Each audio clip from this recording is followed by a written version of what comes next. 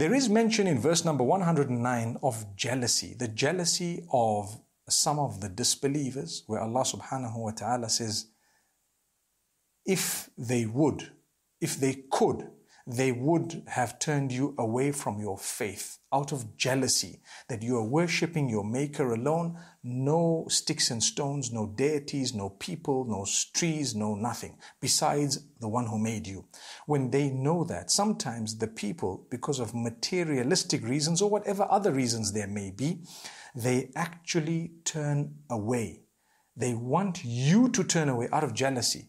So Allah says, حَسَدًا مِّنْ عِنْدِ أَنفُسِهِمْ they knew that what the truth was, but after that, their jealousy made them try to drive you away from your faith. Allah says, don't be driven away from your faith.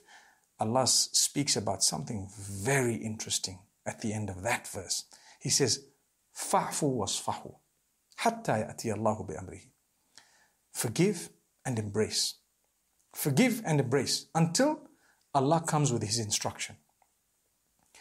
Because Allah is indeed all able and all capable.